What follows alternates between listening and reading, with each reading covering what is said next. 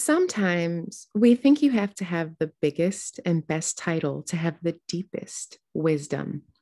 On my travels, I have found the people with the deepest wisdom are just your everyday people, regular people who just happen to know things.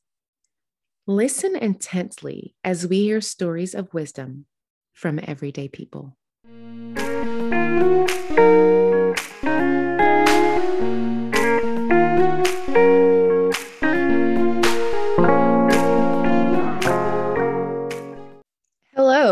Welcome to Regular People Who Know Things Stories of Wisdom from Everyday People.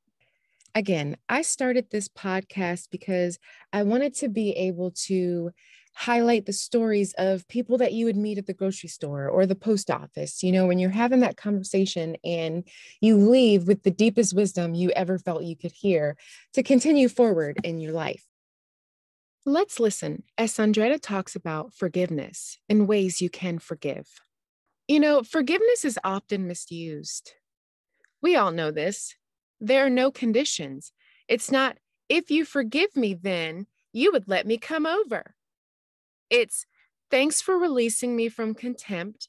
I am glad you did the same for yourself.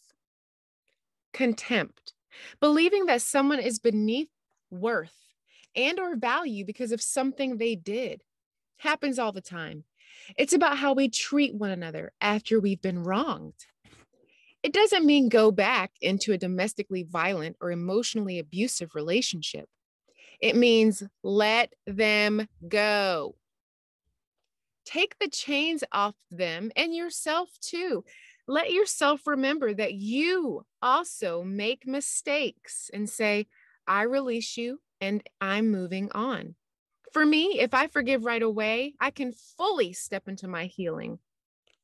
I'll forgive a person and they may not hear from me for a while. Oh, I let you and me go.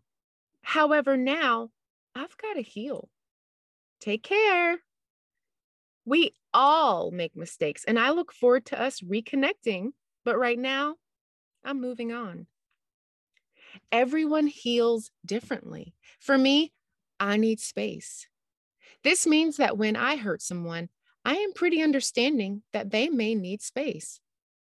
I may be sad, but I do not get to choose how others interact with me. I can choose to interact with them how I do. So let's talk then about the rules we adapt in our relationship that constantly hold us in contempt. You ever feel like someone owes you something? Wrong. No one owes you anything. Ever feel like people ought to be doing what you think? Wrong. No one is your slave. Ever want to control what comes out of someone else's mouth? Oops, that's not your mouth. You see, forgiveness serves as a reminder that people are not our slaves. That's it. Here's how to forgive, AKA, let people go. Number one, accept that you are a human being, human being capable of hurting others. Number two, be kind to yourself when you hurt someone. Beating yourself up means you'll beat up others too.